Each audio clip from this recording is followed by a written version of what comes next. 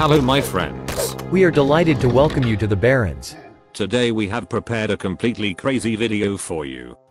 We invite you to witness a new long-term experiment. We will try to determine the usefulness of legendary cards in the long term using an Excel spreadsheet. But, it looks like your processor is overheating. This is too crazy an idea even for you. For several years I have been dreaming about creating an algorithm that can automatically determine the potential power of a card. And finally thanks to joint efforts, I managed to take the first small step towards achieving my goal. We came up with the idea to create an algorithm that according to the description of a card, is able to determine the potential lifespan of the card in the standard metagame. In addition, the algorithm analyzes popularity, win rates in standard and wild formats, determines versatility within different archetypes and classes, as well as usefulness for duels mode. Putting all of these factors together, the algorithm gives a result in the form of the crafting factor.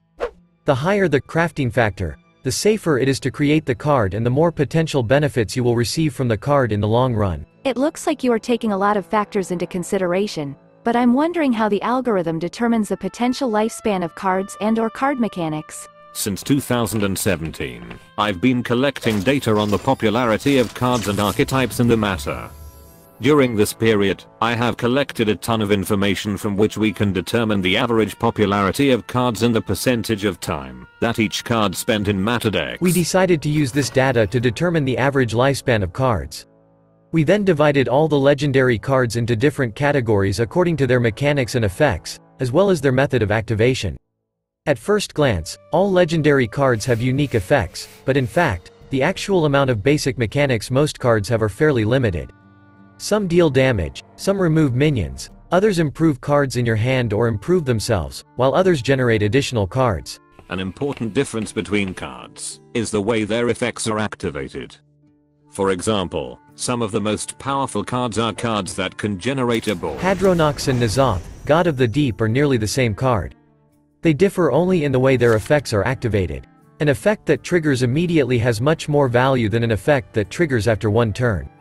Thus, in order to determine the usefulness of a card in the long term, the algorithm groups cards by similar effects and activation methods and then determines the average coefficient of the card's lifespan.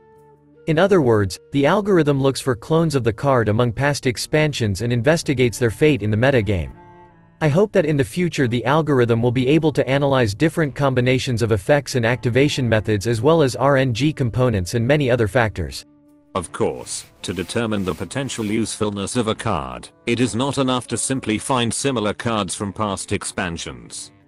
Therefore, our algorithm additionally analyzes data pertaining to the current popularity, efficiency, and versatility of the card in the meta. An important condition for the functioning of the algorithm is the correct proportionality individual factors. In this version, the 100% crafting factor consists of 50 points for the lifespan of the card's mechanics, 20 points for the versatility of using the card in different archetypes, and 30 points for total popularity and win rates in different modes. Your algorithm is influenced by current factors, which means that upcoming nerfs and buffs will completely destroy your list.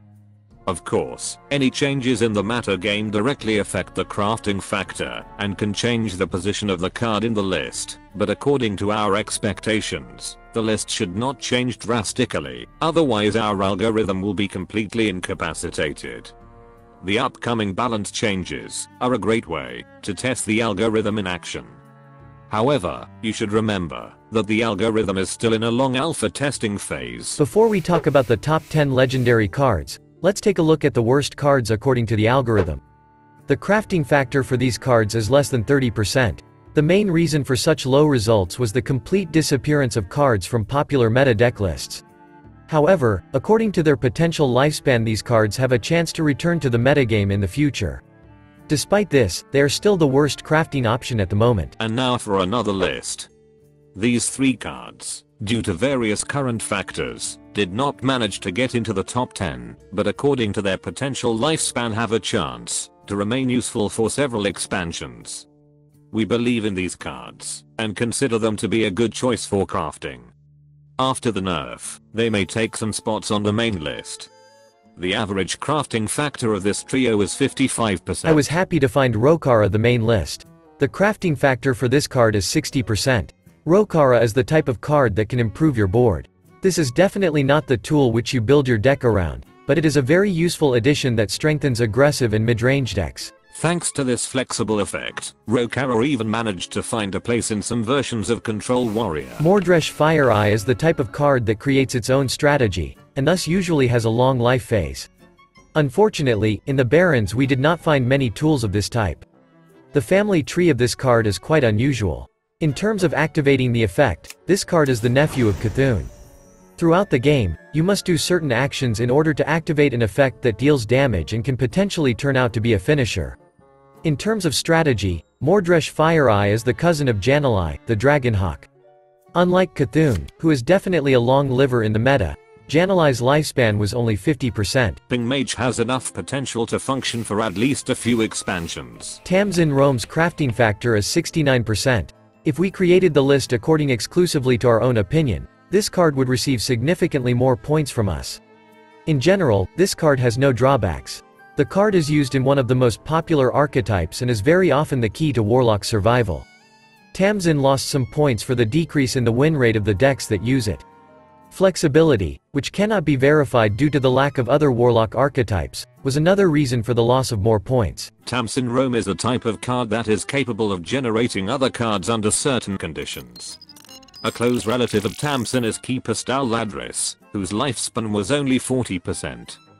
Hopefully the lifespan of Tamsin will be significantly longer. Next on the list is Varden Dawngrasp. This card represents a family of potential AoE cards, such cards are capable of inflicting damage on the board, but for this they need additional actions. One of the brightest representatives of this family is Lord Barov. Typically, the lifespan of such cards in the metagame averages 80 to 100%. This means that such cards remain relevant for almost the entire time they are available in standard mode. Importantly however, Varden has an additional option, he can block the opponent's board without outside help. This card will be especially useful in control and combo mage archetypes for a very long time. In 6th place is another potential AoE tool, but this time for the Shaman. Firemancer Flurgle is an indispensable card for Murloc Shaman. Among the disadvantages of this card is the low popularity of the Murloc archetype in the meta, as well as its low versatility since this card is very poorly adapted within other Shaman strategies.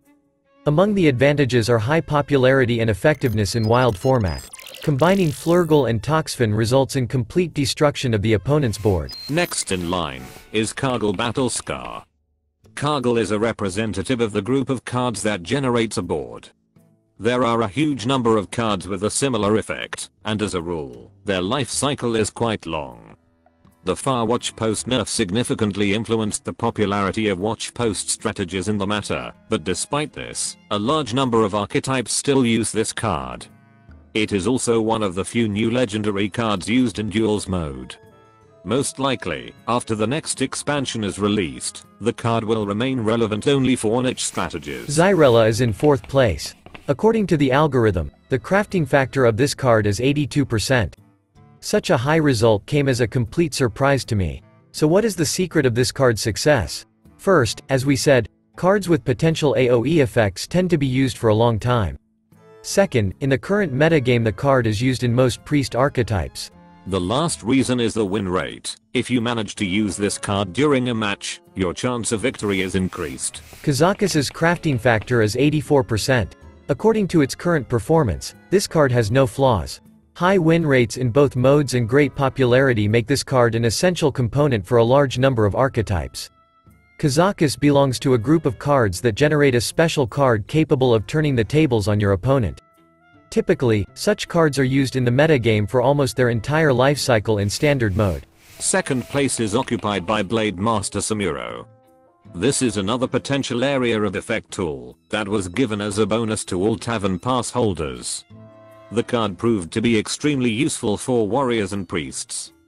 This tool has high popularity in both standard and wild, and is also used in duels mode. Finally, the best card in the Barrens is Mankrik. This legendary card has a delayed effect that is very similar to the Darkness, but the effect is activated much faster and is more flexible. The ability to damage the opponent's hero and summon a strong minion turned out to be very useful for a huge number of archetypes. This is the most popular card in the set with a good win rate and a lot of potential for upcoming expansions. We hope you find the list useful. We believe that the cards that hit the top 10 will remain in the meta game after nerfs, the release of the mini set, and the release of the next big expansion. In any case, we will closely monitor changes in the meta and check the correctness of the predictions of our algorithm. Finally, we want to ask you, how do you rate the lifespan of legendary cards from the Barrens? Do they have enough potential to remain relevant for two years? Also share your opinion and ideas about our algorithm in the comments.